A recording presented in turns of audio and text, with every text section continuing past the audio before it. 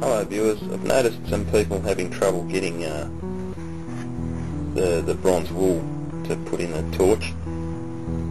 Uh, this is a magnetron out of a microwave oven and on the front here is a, um, a screen that um, that's where I get mine from.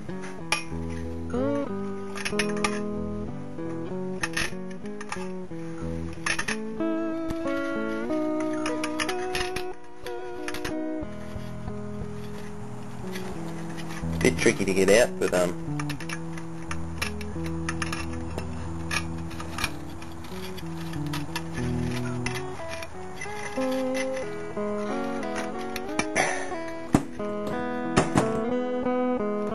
you have it.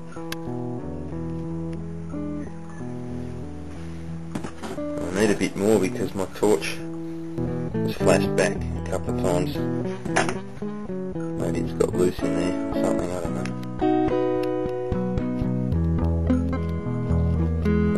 Stuff that a bit more just for safety's sake. It's not getting past my arrestor here, but I don't want to test the arrestor too much. Rather it never went back to the bubbler.